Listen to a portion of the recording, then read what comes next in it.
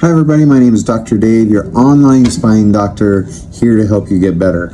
Hey, if you wouldn't mind, go ahead and subscribe below. That helps me allow you to uh, give you free information. I really want to do that.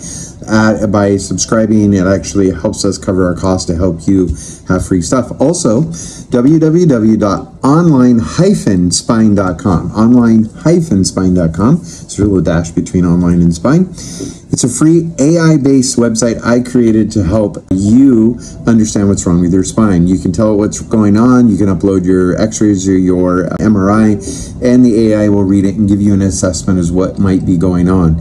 If you have a paid subscription, I will give you even more information about physical therapy exercises to do at home, pain management, lifestyle, diet, nutrition, all of those components to help you.